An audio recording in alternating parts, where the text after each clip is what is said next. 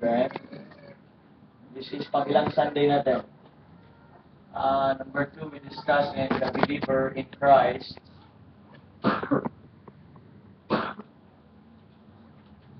And how many things already we discussed on the believer in Christ? Our series, okay? I don't think na may meron akong babalikan dito so we could we could move on, okay? So we discussed that in Christ we have redemption. In Christ we are baptized into His body. In Christ we have received the law of the Spirit of life. In Christ we have the love of God. In Christ we are part of one body. In Christ we are sanctified. In Christ we are made alive. In Christ we triumph. In Christ we are made a new creature. In Christ we we receive liberty. Okay? In Christ is we become the children of God.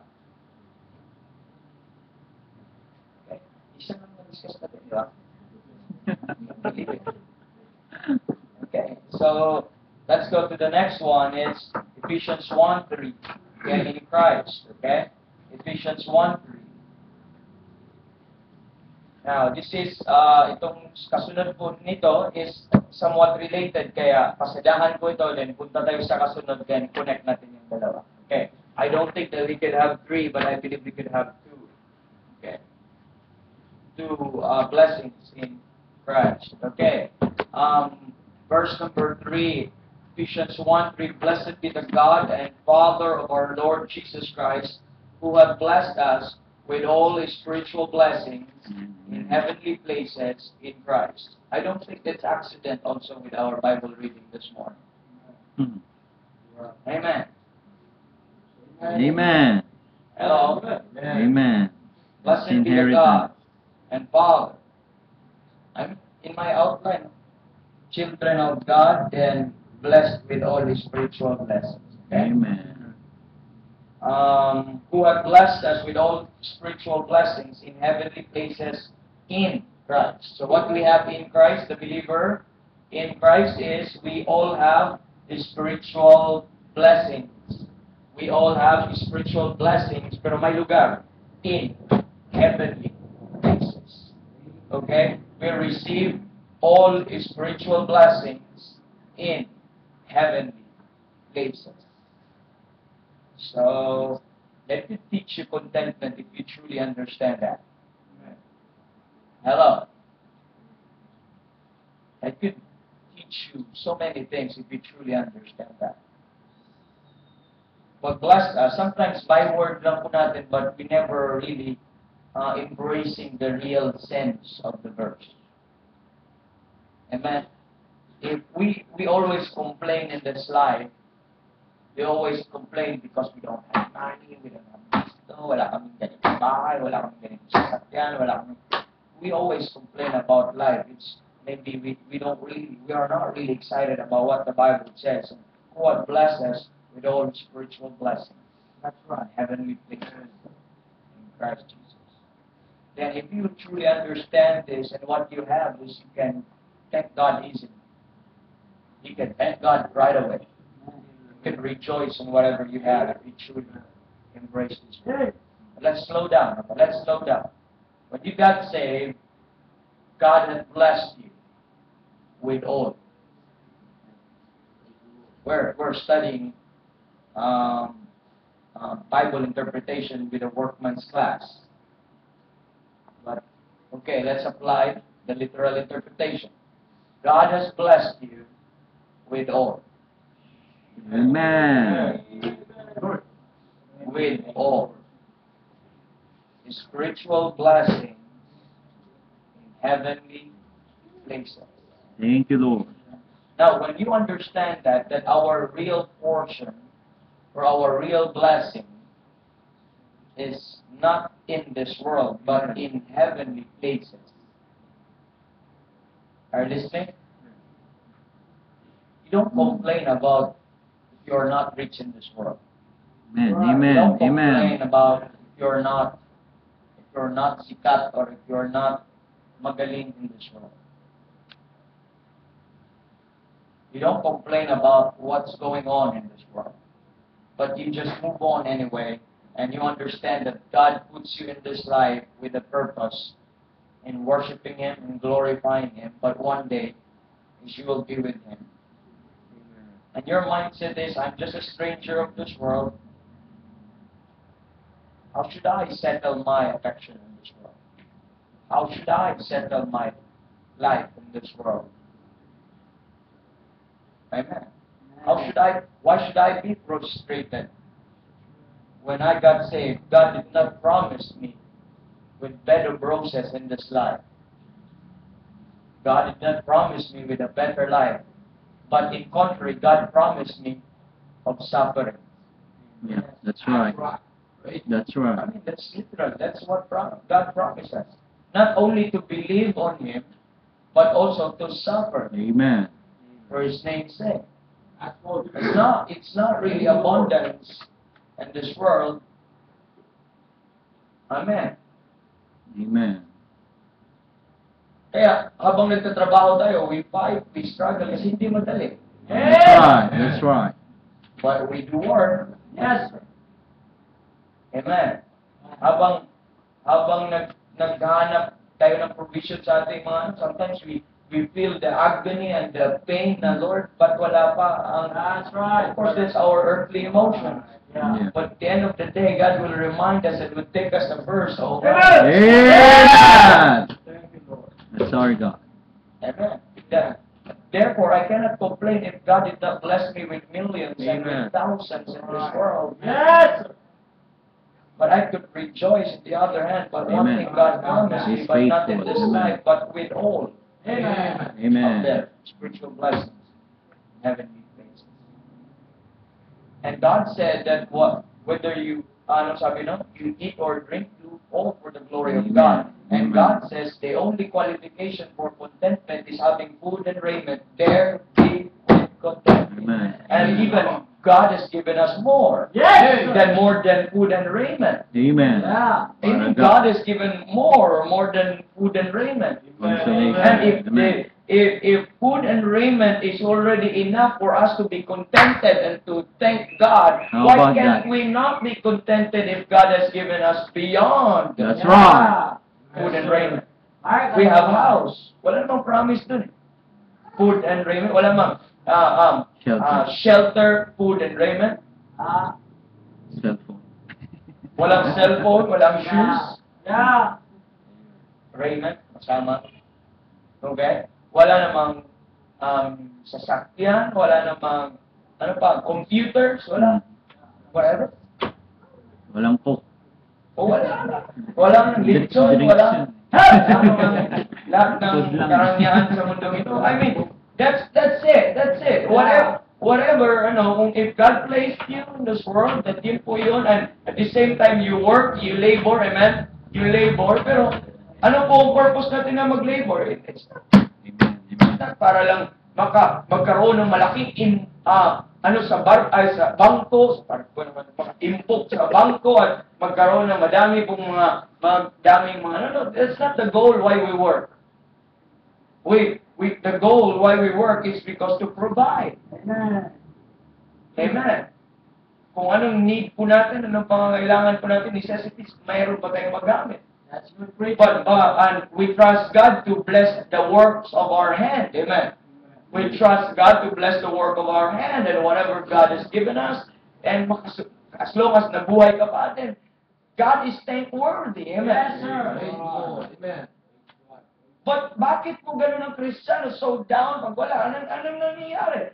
Because ang kanyang affection ay ang kanyang expectation, God will give him more. Dahil hindi nag-grow, hindi natututo kung ano sabi ng Biblia. That's right. Kaya, ang, ang, ang prosperity gospel, obvious namang mali yun. Yung sinasabi ng mga pastor na, na sinasabi na, na magbigay ka and God will give you in a blessing that there be not enough room to receive it. Come on. That's Malachi. Kaya ang naging nangyari, ang mga tao ay naging covetous of the things of this world. Ano nangyari? Na nadala sila sa ganong deception dahil po iba po ang alam na blessing and in-expect na blessing or, or it could be ignorant, Brother Randy, of the things. na sinasabi ng Biblia. Pero, listen very carefully, uh, this will di- direct our hearts into a right place. This, this blessing is in heavenly places. No wonder people and Christians right now, it's not anymore, um, they, they want to, to establish in this life. I, I, if God will, if God will, um, tawag if God purpose that I, I don't own a house in this world, that's fine. Long as I, uh, okay lang yung pamilya ko, okay lang yung anak ko, may maprotekta. If God, um, will not allow na uh, mabigyan po ako ng any ng mga like like luxuries or it's fine. It doesn't it doesn't change our thoughts. It doesn't change. Amen. Kung ganun na lang, hindi na lang ako magpasto. That's true. Amen. Hirap kaya, di, di ako makapagtrabaho ng maayos. Naintindihan niyo ba? Kasi, I cannot have an 8-hour job na makapag-sustain sa aking family. Sometimes I, I, I commune with God and I reason with God na I can can work an 8 hour and, and with ano. But of course the Holy Ghost will remind sa akin of course seeing them na we will talk about that husband as part of the provider, seeing them na ganito, hindi naman, although na, naturuan yung family mo makontento, pero of course, you have also another, uh, yung parang desire para sa kanila. Wish my my son also could have this, or wish my I could buy my wife this and that. Eh, hindi yun ang pursue po sa buhay natin. Hindi, that's not Amen. why we're running out. That's right. Amen. Kung kung ganun na lang ang pagbubuhay sa mundong ito, let, let's let's be let's all pursue unto yung kayamanan eh. Change the doctrine. Let's change our doctrine. That's right.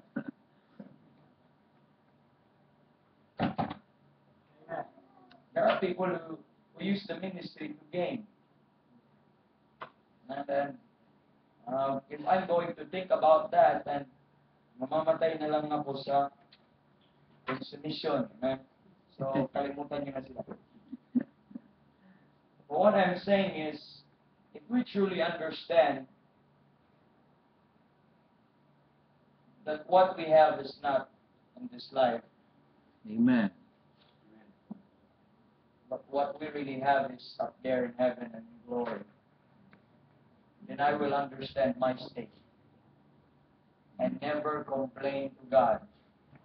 But on the other hand, will come up to contentment and thanksgiving. Amen. Amen. You could early in the morning, ano ba yung we sing about about how great thou art, how great thou art. Then soothes my soul, my Savior. Parang ang nagpapasaya na lang sa atin is those Amen. songs reminding us how great our Lord is. Amen. Sabi ng mga mga tao, paano mo nasasabi na great ang iyong Panginoon na mahirap ka na mahirap ka pa sa daga? Buti pa ang daga ay may cheese, ikaw wala. Ngayon, asin. Oo nga, Ano, mahirap ka pa sa daga. Amen. Sabi ko ng song, no? I have a good heritage. Amen. I'm blessed with things you can see. Amen. This is my goodly heritage. That's right. That's right. The Lord is our portion, brother. Amen. I'm blessed with things you can see. They don't understand that. Glory to God.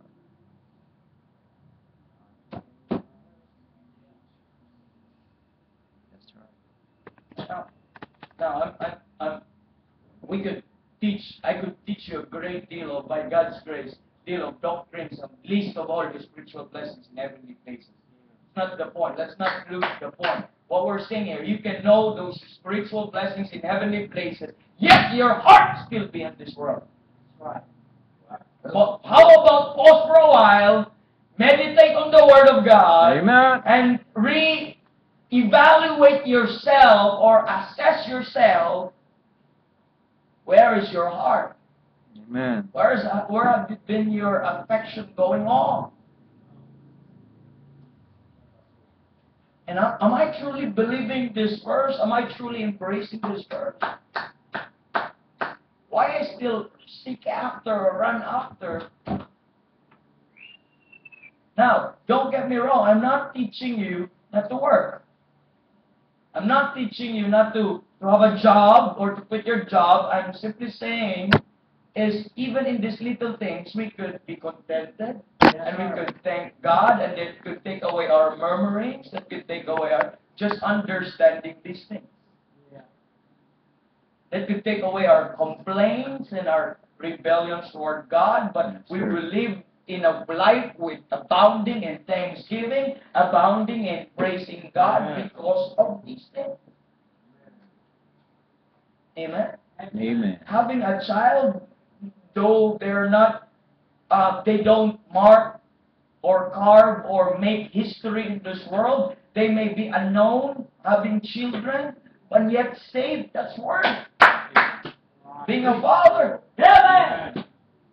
Amen. Raising them, training them in the way of the Lord. That's worth being a father, and that's already our our consolation in this world. Yes, sir. Because we truly, because we truly understand that we look up, not down.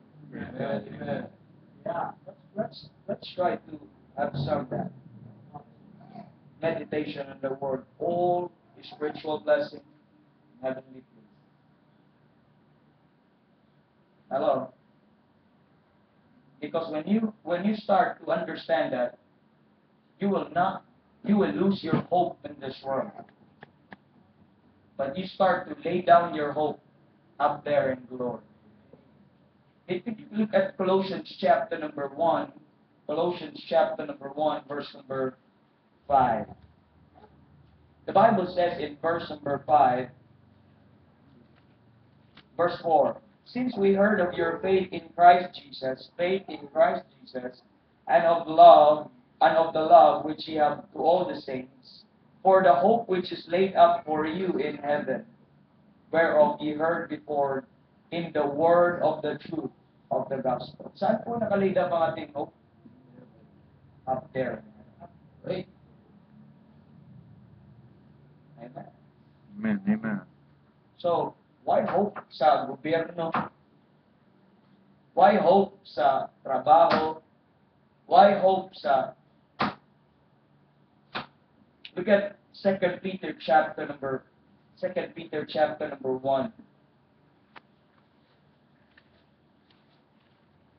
In verse number verse number 2. Grace and peace be multiplied unto you through the knowledge of God and of Jesus our Lord, according to his divine power hath given unto us all things. Kaya Amen. lang, ano yung all things na yun? That pertain unto life and godliness Amen. through the knowledge of him that had called us to glory Amen. and virtue whereby are given unto us exceeding and great precious promises, that by these ye might be partakers of divine nature, having escaped the corruption that is in the world through lust. And it, it, how, how could you not rejoice in those things? If God has given you all things, can He bless you with all things? Kaya lang, these all things is um, spiritual blessings or that pertain unto life and godliness. How could we not rejoice? We are we are in the business kung saan we are praying and hoping that that we could we could get something from our clients. Okay?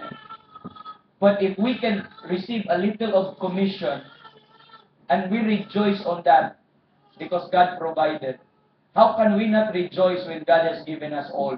Amen. How about that?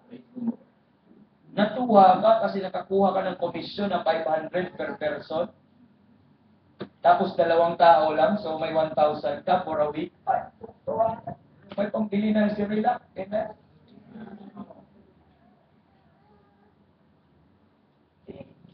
Malulungkot pa tayo dito. Eh, yun, anong kulang po natin? Let's redirect our heart to what is a blessing. What is a real, genuine blessing. Okay? So, we have to understand and blessed also in the other hand with all spiritual blessings. Ano po yung spiritual blessings po na yan? Ang dami po mga kapatid. Nasa chapter number 1 ng Ephesians. Now, pansinin mo in verse number 1, look at, look at verse number 4, chosen us. You are chosen, that's a blessing. Amen? In verse 5, you are predestinated and adopted as children of God. Hello? In verse number 6, you are accepted. In verse number 7, you receive redemption. Amen. In verse number 8, you receive about all wisdom and prudence. Nung ikaw po ay naligtas, these are spiritual blessings. Hello? When you got saved, you received, uh, you, you made, uh, God made you know the mystery of His will. Amen. Yung purpose niya na natutunan mo. Nung ikaw po ay naligtas, nakatanggap ka po ng inheritance. Amen. Because that is, bumalik po yan who first trusted in Christ. Hmm. So you receive these blessings when you trusted in Christ. Ano pa? Nakatanggap ka ng earnest of the inheritance. Ano po yun sa verse number 13? Yung Holy Spirit of promise. You are Amen. sealed and you believe and you receive that Holy Spirit of promise. Glory to God. Hello? And nakita niyo po na nakatanggap ka po ng spirit of wisdom and revelation of the knowledge of Him. And you receive the hope of His calling in His inheritance. Amen. At ano pa, nagiging part ka sa verse 23, which is His body, the fullness of Him that filleth all in all. Naging part ka na ng kanyang katawan. Amen. na lahat po ng ito which He wrought in Christ when God, when He raised from the dead and set Him at His own right hand in the heavenly places. Ano pa? In verse number, chapter 2, verse number 1, you are quickened. That's a blessing. Amen. You were dead before in times past, but you were quickened. Ano pa? Verse number 4, God has given you that great love wherewith He loved us. He showed mercy, and that's a blessing. Amen. Sometimes we have to redefine the term blessing. Kasi ang blessing po natin, ang mentality ng blessing natin, nasa Malakay 3.10 balik, that God will pour you out a blessing and there be not enough room to receive it. And that's for the nation of Israel because their blessing is lot and lands and fruit of the lands. Let's redefine. Now, if we redefine this blessing, ang ang una kung ang una ng definition natin as uh, as saved person ng blessing ay spiritual. Kahit ano pang list na material thing, you will you will learn to appreciate it. The good thing kasi, pangit kasi yung from carnal to material. Dapat from spiritual to material ang thanksgiving. You thank God, then to ano. Pag nakikita mo yung spiritual things, mas lalo mong makikita yung mga visible things. Pag napapasalamatan mo yung spiritual things, mas lalo mong mapasasalamatan yung carnal things na nakikita. Why? Because you need an eyes that is enlightened to see the spiritual blessing. Itong, itong ano, obvious na yan eh. Binigyan ka ng ganito, may binigyan ka ng maayos na tulugan, binigyan ka ng maayos na bahay, binigyan ka. Obvious na yan eh, nakikita, natural na yan eh. But if you can see those, what, what people did not see, but if you could start to thank God of those spiritual blessings, you don't have problem on thanking God for the physical blessing. Amen. That is the when you start to appreciate how God saved you, you start to appreciate the early mercies God provide every morning. You will start to appreciate the food in the table. You will start to appreciate the air that we breathe. Amen. We start to appreciate the na yung mga piso-piso at saka yung mga pambili po natin. We start to appreciate yung what we have. Amen. Kaya ang ating Thanksgiving is so ano po, commercialized because we only thank God for the obvious. These are obvious things. But there are things that are unseen. And yet, they exist in your life. Amen. Yet they are true in your life. But when you start to realize and start to thank God for those things, your life will abound in thanksgiving. Amen. You will start to thank God for your wife. You'll start to thank God for your husband. You start to thank God for your children. You start to thank God for that day He has, he has given you the privilege again to worship Him and to serve Him in this life. You start to thank God even in little details because you acknowledge it all comes from Him. Saan po nag-uumpisa po yun? Thanking God for all spiritual blessings. Amen. Kasi hindi na natin to nakita na blessing na, na, na weekend ka. Is that still a blessing to you? Amen. Amen. Naging part ka ng body of Christ. Is that still a blessing to you? Amen. Thank you, Lord. Ala, delikado. Tingnan mo sa Colossians chapter number 3. Balikan natin yung Ephesians 1. Colossians 3. Tingnan mo sa Colossians 3.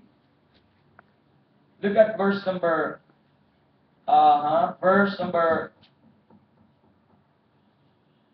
right there. Amen. Colossians chapter number 3, verse number 15. And let the peace of God rule in your heart, to which also ye are called in one body. Ano next? Bigit. Are you in one body? Ano next?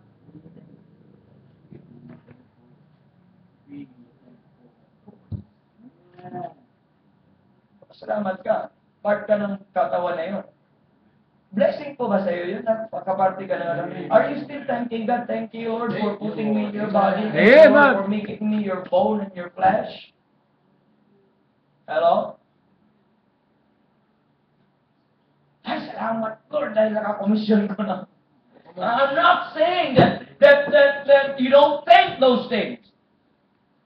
But I'm saying is, have you seen these truths and have take time to thank God for this truth? How about thank you, Lord, for the redemption that I have in Christ Jesus. Amen. Thank you, Lord, that I received baptism and God, you put me in your body. Thank you, Lord, for the law of the Spirit of life. Thank you, Lord, for the love of God. Thank you, Lord, for the sanctification and all the rest of these things. You, do you still view this as blessing? Or ang blessing na lang sa'yo pag may paycheck. Ang blessing na lang sa'yo pag, pag may nagbigay sa'yo ng mga mat... Ano pa? Pag may bago kang cellphone, may bago kang laptop, I thank God for my blessing. Ano yun? For, uh, uh, God has given me a new laptop. Now, I will question your, I, I will put a question mark in you if you can thank God for your laptop and you can even thank God for God putting you in His body. That's good preaching. What I'm saying is, kanina, let's redefine what is blessing. And let's reassess, hello, Amen. reevaluate our thoughts. Kaya pala ang hirap ng Thanksgiving. Kasi ang sobra na ang binigay ng Panginoon sa atin, kaunti lang ang ating na-acknowledge na blessing. Kasi we, we talk of blessing pag pera, blessing yan. Amen. Pag, pag pagkain, blessing yan. Hindi ko naman sinabi hindi. Pero ang, what, my point is, ang alam lang natin na blessing, yung obvious, yung mga nakikita is tangible. Kaya, ako, kita pa natin to. I hope we still have eyes. Hello? God to see these things.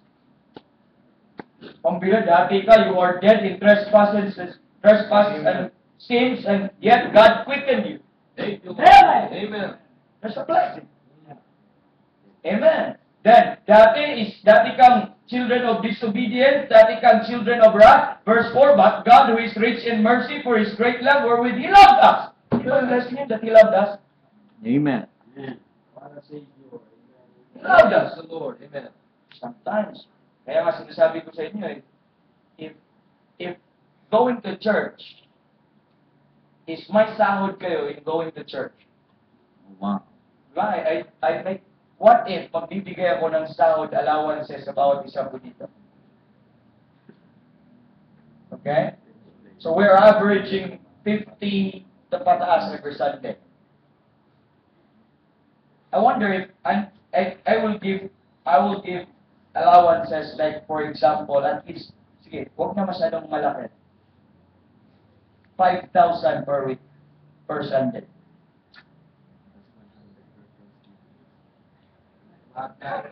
Plus 100 pag may Thanksgiving. Plus 1,000 pag may Thanksgiving. Now, that may be, that may be, ano po, that may be, um, hindi realistic. Pero what if it's true? Yeah. I doubt it kung may mamiss, mag-miss na isang Sunday. 10,000 on Thursday. Bakit? Ang pag-blessing, ang isip natin yun eh. Yes, sir. Bakit? Could, could you not bring yourself to church just knowing that He loved you? Could not that truth will not bring you to church that knowing that He quickened you? Amen. But what can bring you to church? If I we will provide allowances and bonuses for those who will have ex- extra services.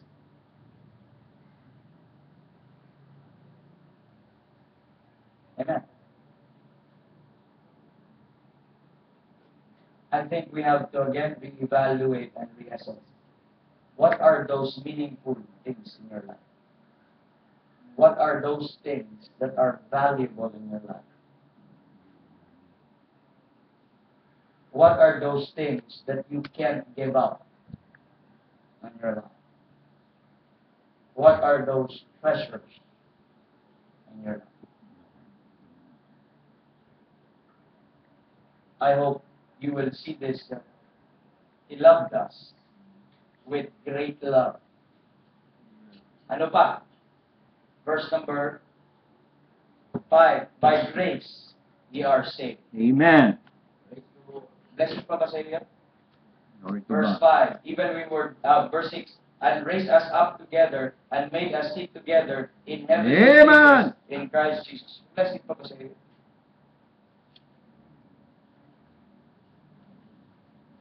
Hello? Verse 10. You are created in Christ Jesus. Blessing pa ba? Verse number 8. For by grace are you saved through faith and that not of yourself, it's the gift of God. Amen. Blessing pa ba sa iyo yun na dati Gentile ka, dati without Christ ka, and yet, but now in Christ we sometimes a part of are made nigh with the blood of Christ? Does it make you excited? More than giving you something or anything na, na tangible things? Does it still excite you? Does it still stir up your heart and serve the Lord God and worship Him and thank Him? Ano kayo makapag-stir up sa ating puso? Ano, ano? Let's redefine. Let's remember who we are. Isn't it a blessing that He, hindi ba blessing to, spiritual blessing to, that He broken down the middle wall of partition so that we can also partake what Israel could partake? So that also we could worship God because there's a middle wall of partition. God take that away so that we can also direct to God. Dati Gentiles tayo, we're not we're not worshipers. But we are aliens, we're strangers, we're enemies, never a worshiper. Now we got saved, God has broken down that middle wall of partition and abolished in, in His flesh the enmity. Blessing po ba sa inyo na that He make in Himself of twain one new man? Blessing pa ba sa inyo yan? And that he might reconcile both unto God in one body by the cross. Now you can read on chapter 1, chapter 2, chapter 3. Find that truth. And that started in verse number 3. Blessed be the God and of the Father of our Lord Jesus Christ, who hath blessed us with all his spiritual blessings in heavenly places. Magbasa ka ng Bible, ma, ma kakanta ka no? Kakanta ka about these things. I have a hope beyond the river. I have a mansion bright and fair. Pero mindset, I have a hope beyond the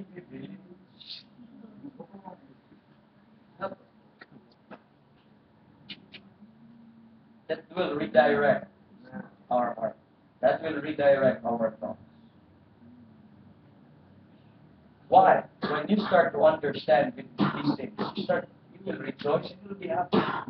Kung tuyo, o sige, even, tuyo! Tuyo lang ang aking ulam.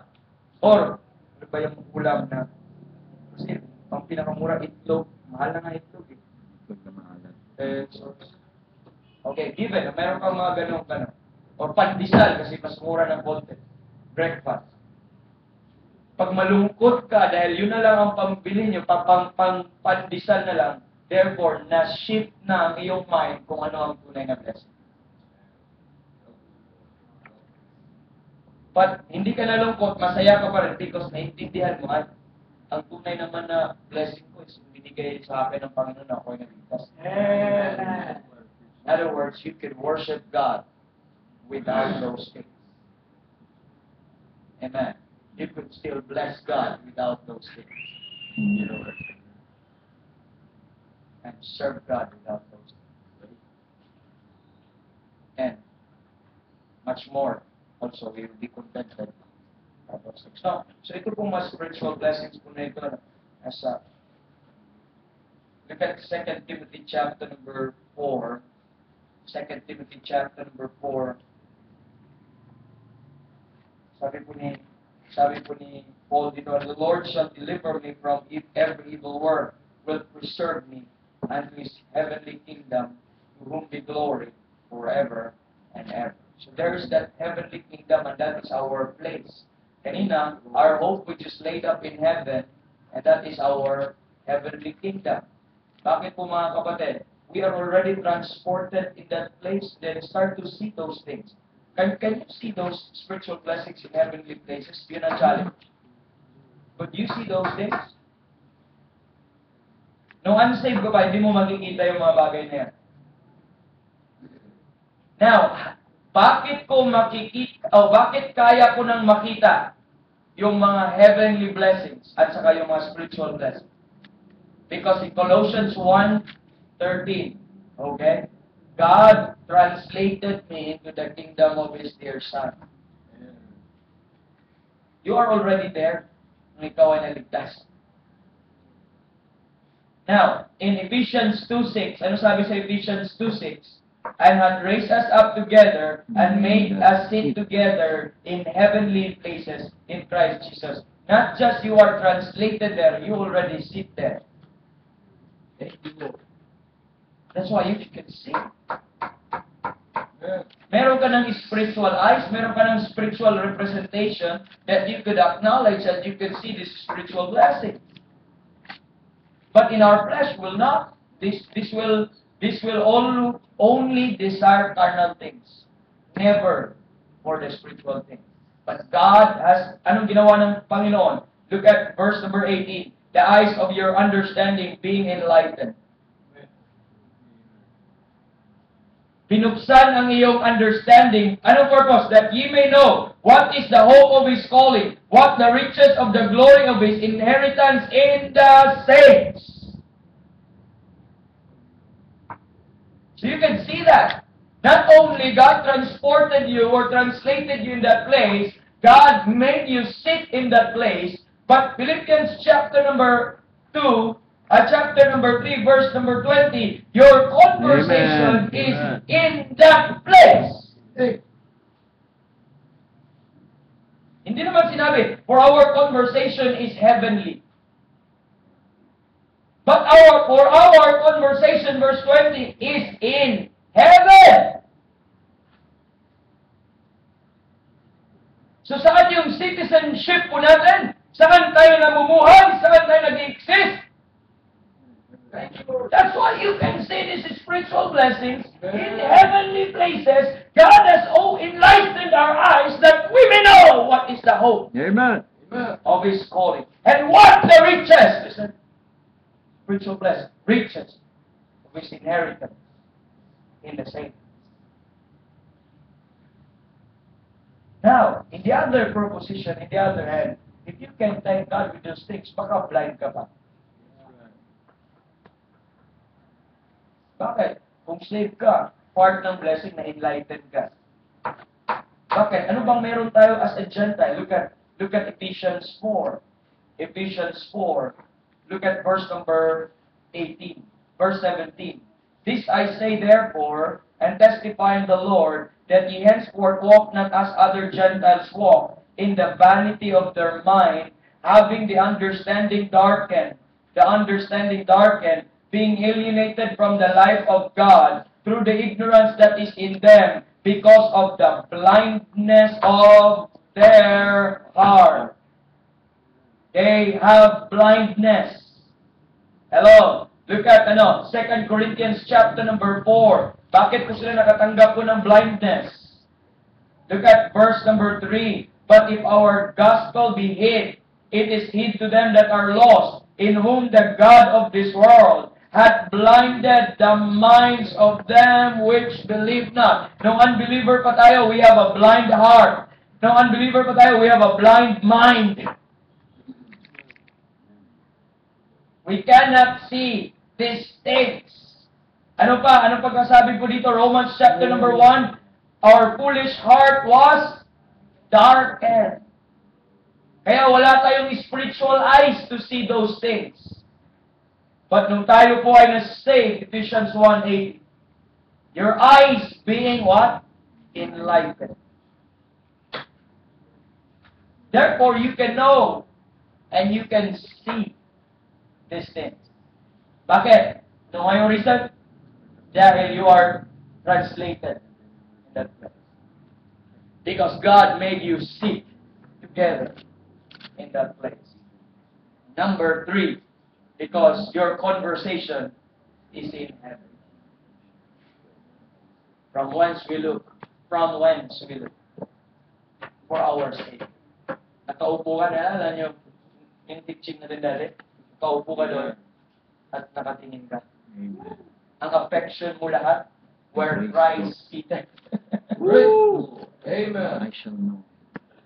Nandun lang ang, that is your spiritual representation. While you are represented in this earth, you have also a spiritual representation. Could you explain that, sir? I cannot. It's just I am transported or translated. It's just the Bible says, I made me sit together in heavenly place. Can you explain? I cannot. I don't know kung paano. Amen. Just believe in the Bible. Amen. My mind is too limited to explain those things. But it all happened when we are in Christ. So in other words, we can see this spiritual blessing because God enlightened our eyes. Ano pang ginawa ng Diyos? We could understand these things. We could see these things. Look at Colossians chapter number 1. Verse number 9. For since, for this cause, we also since the day we heard it, do not cease to pray for you to desire that you might be filled with the knowledge of God, of His will, in all wisdom and spiritual understanding. Kung saved ka, mayroon kang capability na magkaroon ng what? Spiritual understanding. Bakit hindi natin ito nakita? Bakit hindi natin napasalamatan to nung tayo ay unsaved? Eh, hindi natin nakikita eh. Ang napasalamatan natin yes, sarap ng ulam. Yes, ang ganda ng bahay. Yes, sarap ng aircon. Yes, sarap ng ang ganda ng palabas. Yes, lahat na lang ng puro ano. Uy, may pasalubong sa dito. So lahat na lang nakita, wala tayong pakialam sa mga spiritual things. But, now, ito yung ito yung dilemma. Ang dilemma is ganito. The dilemma is this. Ngayong enlightened na ang iyong mata, kunyari, ligtas ka. Bakit ganun pa rin ang nakikita natin? Na biyaya. Bakit yan pa rin ang napapasalamatan natin?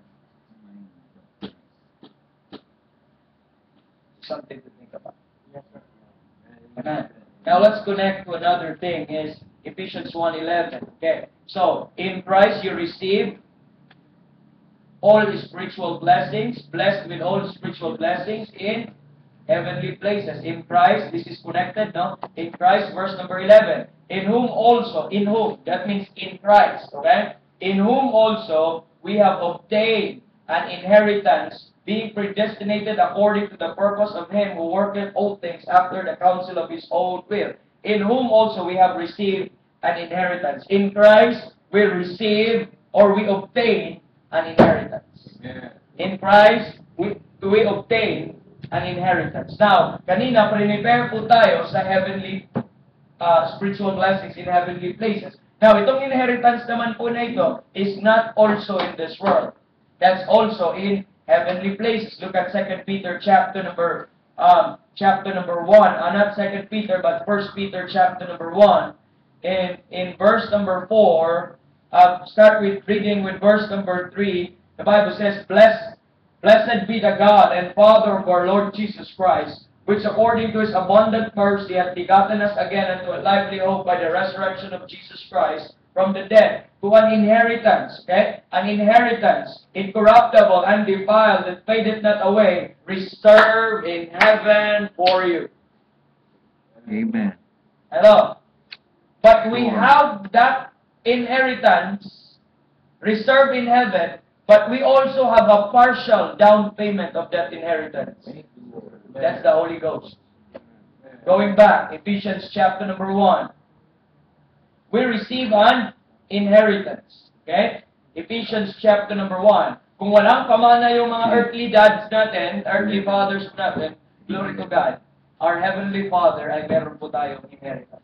Amen? Right. Now watch. Amen. In verse number 4, 14, which is the earnest of our Amen. inheritance. Remember, we receive, we obtain an inheritance. At ang inheritance po nito, yung fullness of blessing, or yung fullness ng inheritance po natin, saan lugar? Not in this world, but where? In heavenly places. But, glory to God, pinatikim man tayo ng Diyos. ng Amen. portion, down payment, or foretaste ng ating inheritance. That is the Holy Ghost. Verse 13, In whom also you trusted. After that ye heard the word of truth, the gospel of your salvation, in whom after that ye believed, ye were sealed with that Holy Spirit of promise. Sino yung Holy Spirit of promise din? Which is the earnest of Amen. our inheritance. But listen very carefully, hindi pa kompleto yun until the redemption of the Amen. purchased possession unto the praise of His glory. God has given us a down payment. Patunay na totoo ang kanyang inheritance. And yun ang Holy Ghost. The seal of the Holy Ghost testify and validate that God has given us this heavenly inheritance. Thank you, Lord. Do you have the Holy Ghost in you? Amen. Glory You to God. Thank Christ God for that in you. earnest of And that is the manifestation. That is the evidence, the validation, the down payment, the guarantee, the token that you will have all. Patunay, kumbaga, that spiritual blessing or inheritance in heavenly places. Now, the word inheritance there in chapter number 1 is mentioned three times. Verse 11, in whom we have obtained an inheritance. In verse number 14, I, that, that inheritance, a portion of that inheritance is already given unto us in this earthen vessel. And that is the Holy Ghost in verse 14.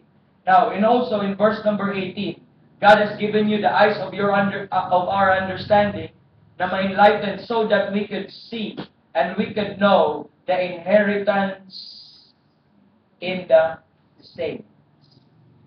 Okay?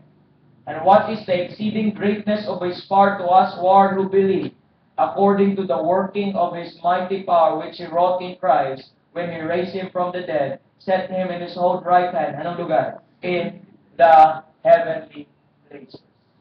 You see, ang ganda no?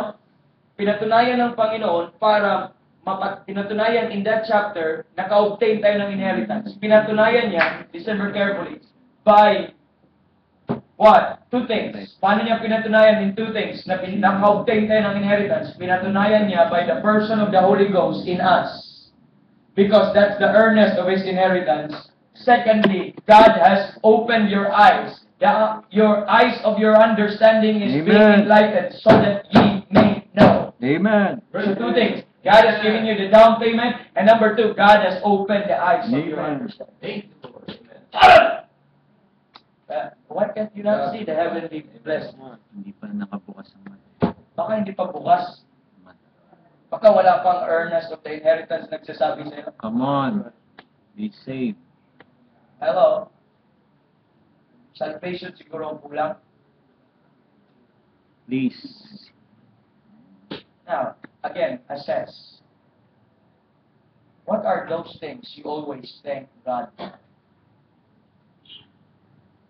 Or not necessarily thank God or thanking God. Ito na lang. What are those things that are you are always thankful?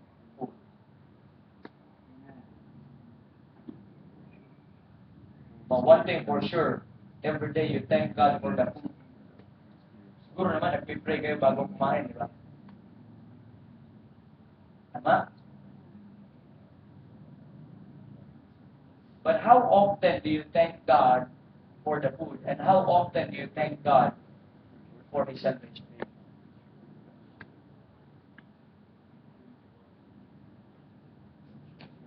Amen. Amen. How often do you thank God for the food versus how often do you thank God for His love and mercy and grace? Good question. You thank God for the food for sure, three times a day. Hindi pa kasama ang snack doon. May may snacks pa kayo sa sa hapon, may midnight snacks pa kayo sa gabi, lima. So at least para kang Muslim, five times nagpipray. Now, could, could you thank God five times a day for your salvation? Oh my. Have you thanked God five times a day for the mercy, love, and grace provided you daily? These are assessments. These are evaluation of if your heart has already been redirected to something else. If you really have, if you really see, or if you really have the eyes of your understanding na makita itong mga fruits na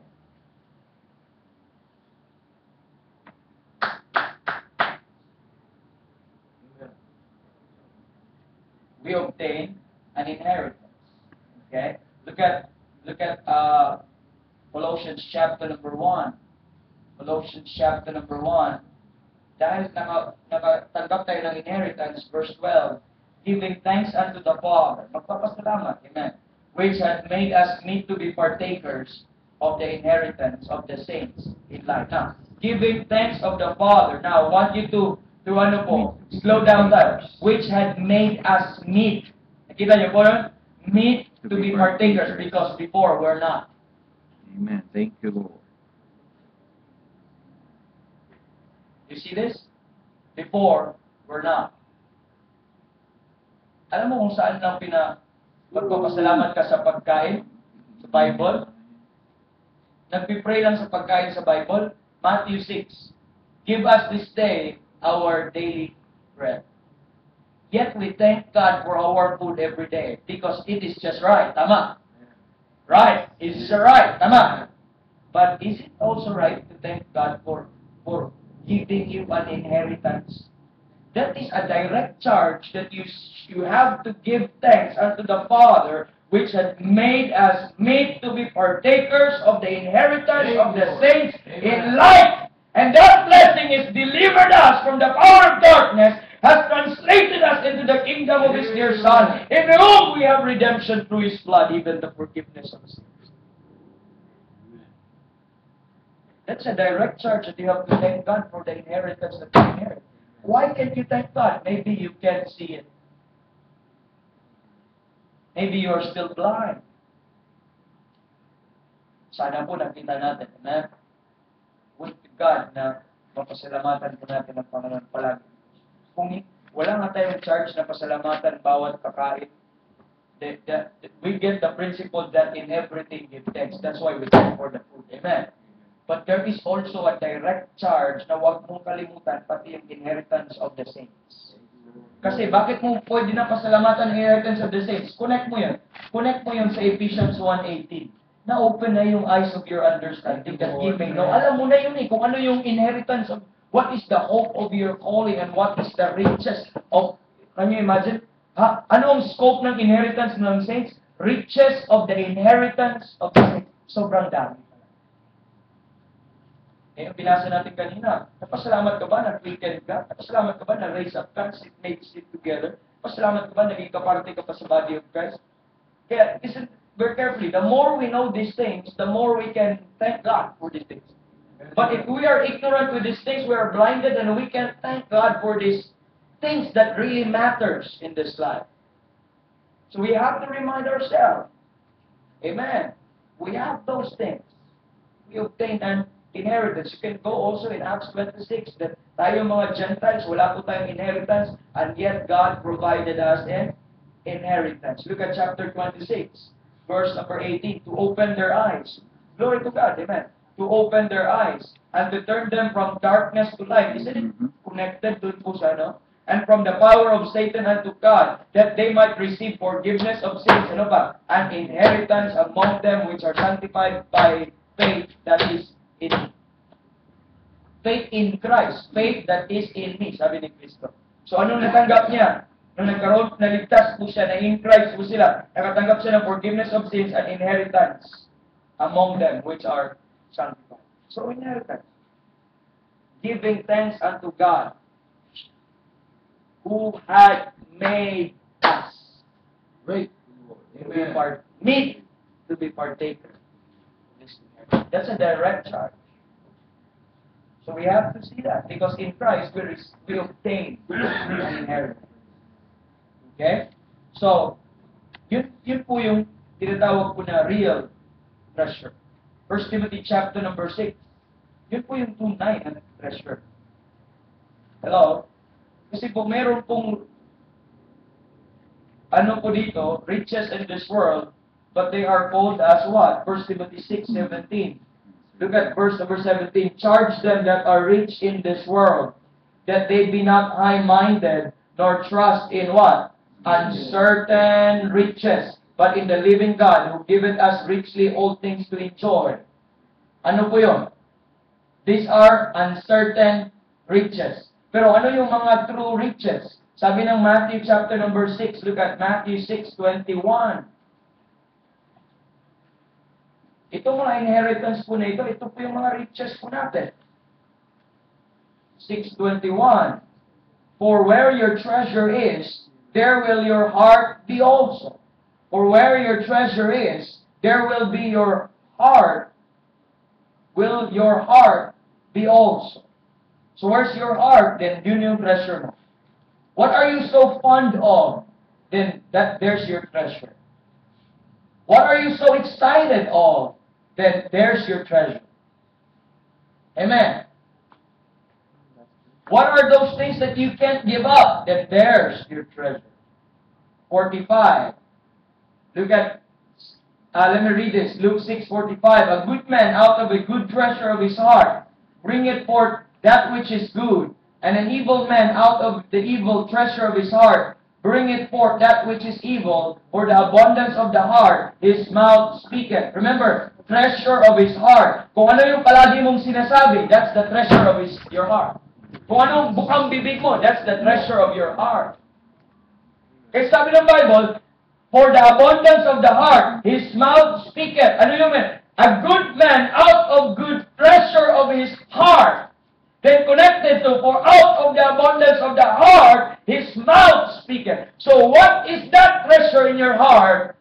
For where your heart also, remember, uh, where your treasure is, where your treasure is, there your heart may be also. Kung ano yung nasa puso din, yun yung treasure. At kung ano yung nasa puso, yun din palagi mo sinasabi. Anong bukang bibig mo palagi? Anong palagi mong pinasasalamatan? Anong palagi mong mini-mention? There's your treasure. Are you listening? There's treasure. But could it be you're always talking about uncertain riches? Not really the riches na binigay po sa atin ng Panginoon. Colossians chapter number, look at Colossians chapter number 2. Anong treasure natin? I hope hindi yung un, uncertain riches. Colossians chapter number 2, look at verse number 2 and 3. The Bible says that their hearts, again, look at the how the word treasure and heart is connected together. Kita niyo po, for three verses, no? For their heart might be comforted, being knit together in love, unto all the riches of the full assurance of understanding, to the acknowledgement of the mystery of God, of the Father, and of Christ, in whom are hid all the treasures of wisdom and knowledge. That's the true treasure. That's why you can thank God. Ano yun? Yung acknowledgement of the mystery and of the Father, of God and of the Father, and of Christ, in whom are hid all treasure. Lahat ng treasure na yun, in Christ, no? O in whom are hid all treasures of wisdom and knowledge. Okay? So ano pong ano pong pagkasabi pa diyan? Look at look at 2 Corinthians chapter number 4. 2 Corinthians chapter number 4. We have this treasure in this earthen vessel. Why? Nasa atin po, nasa katawan po na ito. I hope that's in our heart. Verse 7, But we have this treasure in the earthen vessel, that the excellency of the power may be of God, and not of us. Okay? Kung papansinin mo dyan, you can also see the word heart. Okay?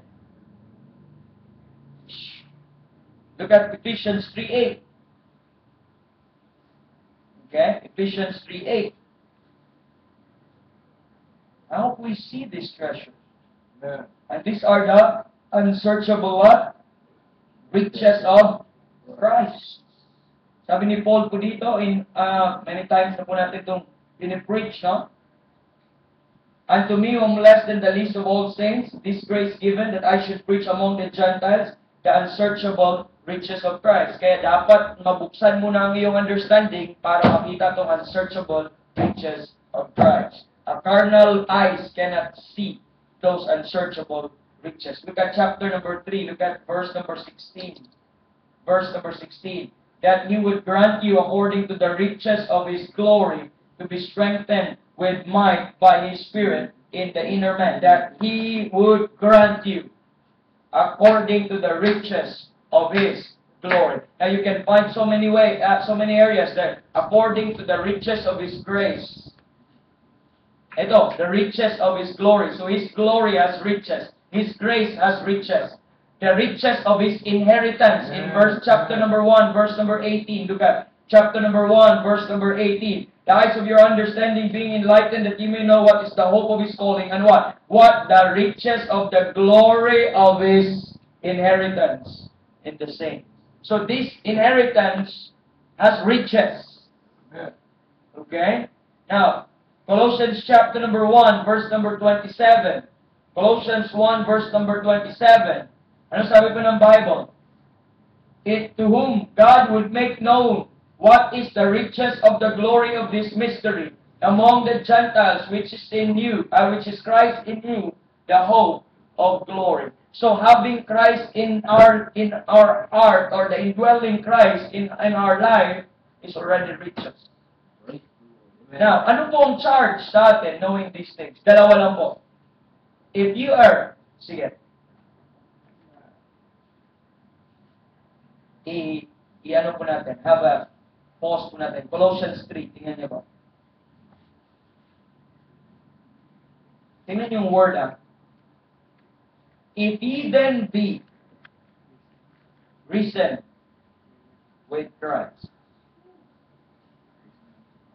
be risen with Christ. So that means saved. If ye then be risen with Christ. Therefore, you are not dead, but you're saved. Therefore, pag save ka, anong nangyari? Na-open na yung eyes of your understanding. Enlightened. Charge. Seek those things which are above, where Christ seated on the right hand. Klaro po yung lugar, no? Which are above, where Christ seated. That is where? In the heavenly places. Saan siya nakaupo? Ephesians 2.6 Made us sit together in the heavenly places.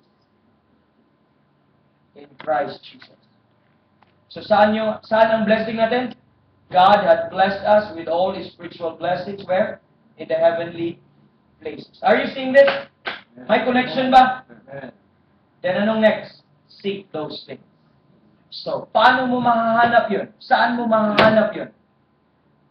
Biblia. Praise God. Amen. Are you seeking those things? Kaya, ang iba hindi nakapagpasalamat dahil hindi pa nahanap kasi una, bulag pa. Now, pag hindi ka na bulag, open na yung understanding. Anong charge? Seek those things which are above, where Christ is on the right hand. Next, once nahanap mo yun, once nahanap mo na yung mga bagay na yun, anong next na gagawin? Set your affection and above. So nakita mo na, ang bira na nagpapasalamat ka na nakita mo sa Biblia na I am blessed with all spiritual blessings in heavenly Amen, places. amen. Binigyan ka ng isa, you are accepted in the beloved. Accepted in the beloved. Then your affection will start to sink into. You will embrace it, you will love the truth, you will appreciate the truth, amen? You will thank God for the truth that is setting your affection. Bakit? Bakit ka unting sabag? Kasi yung mga bagay na yon, those are spiritual blessings in heavenly places. Then you put your heart on it. Then you start to hide it in your heart kasi once it's in your heart, there's your treasure. Amen. Then out of the abundance of the heart, the mouth. Listen very carefully. Dahil po, ito pong seek and saka set, many times po na preach, hindi po makaset dahil walang nasisik. Naintindihan niyo ba? Hindi ka makaset sa iyong affection dahil hindi mo nahanapan.